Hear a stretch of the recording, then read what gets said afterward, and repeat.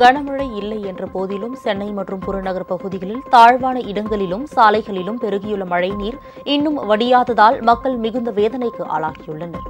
சென்னையின் பெரும்பாலான இடங்களில் மழைநீர் அகற்றப்பட்டுவிட்டாலும் நகரின் பிரதான சாலைகளில் இன்னும் மழைநீர் தேங்கி நிற்கின்றது. குறிப்பாக வடபழனி அரும்பாக்கம் நூறடி சாலையில் மழைநீர் குளம் போல் தேங்கி நிற்பதால் வாகன போக்குவரத்து பாதிக்கப்பட்டுள்ளது. சாலையில் தேங்கி நிற்கும் மழைநீரை விரைந்து அகற்ற வேண்டும் என்பது அப்பகுதி வாசிகளின் கோரிக்கையாக உள்ளது. பெய்யல இன்னும் மழை அதிகமாக பேஞ்சிச்சு அப்படின்னா கண்டிப்பாக இந்த ஏரியா தாங்காது. இங்கே இருக்கிறவங்க ரொம்ப கஷ்டப்படுறாங்க. எப்படின்னா மக்கள் பழகிட்டாங்க. என்னன்னா இப்போ மழை பெஞ்சுன்னா இதே டிராக்டர் ரெண்டு டிராக்டர் கொண்டாந்து வைப்பாங்க. இந்த ஜேஜிபி வரும். ஜேஜிபி இங்கேருந்து தண்ணி எடுத்து கொண்டு அங்கிட்டு விடுவாங்க. அவ்வளோதான் இதுதான் நடக்குதே தவிர வேற எதுவும் நடக்கல. சூளைமேடு இந்த ரோட்டில் இப்போ பார்க்குறீங்களா இந்த இடம் ஃபுல்லாகவே எப்போவுமே முழுகி எப்போவுமே முழுகின்னு தான் இருக்குது இது எத்தனை ஆட்சிகள் வந்தாலும் இதை வந்து சரிப்படுத்துறதுக்கு எவ்வளோ முயற்சி பண்ணுறாங்க ஆனால் முடியல. இங்கெல்லாம் கருங்கல்ல கொட்டியிருக்கு.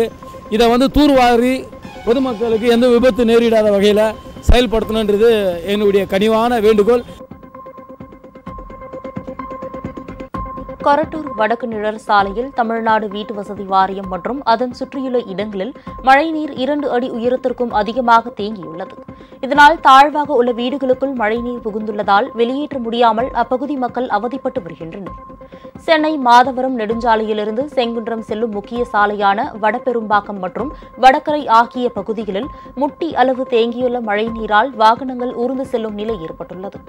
அப்போது இருசக்கர வாகனங்களும் தாழ்வான அடித்தளம் கொண்ட கார் உள்ளிட்ட வாகனங்களும் தண்ணீரில் பழுதாகி நின்றுவிடுவதால் போக்குவரத்தும் பாதிக்கப்படுகிறது. இதனால் போலீசார் வாகனங்களை மாற்றுப்பாதையில் திருப்பிவிடுகின்றனர். நேற்று ஒரே நாளில் தமிழகத்தில் மிக அதிக அளவாக இருபத்தி எட்டு சென்டிமீட்டர் மழை பதிவான செங்குன்றம் பகுதியில் பல இடங்களில் வெள்ள நீர் தேங்கியுள்ளது. குறிப்பாக நெடுஞ்சாலையில் அமைந்துள்ள செங்குன்றம் சுங்கச்சாவடியை தண்ணீர் சூழ்ந்ததால் கட்டணம் வசூலிக்கும் பூத்துகள் தீவுகளுக்குள்ளாக மாறின.